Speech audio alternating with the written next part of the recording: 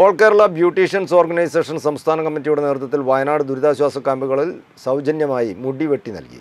കോഴിക്കോട് മലപ്പുറം പാലക്കാട് ജില്ലകളിൽ നിന്ന് അൻപതിലധികം സന്നദ്ധ പ്രവർത്തകർ ക്യാമ്പുകളിൽ പങ്കെടുത്തു.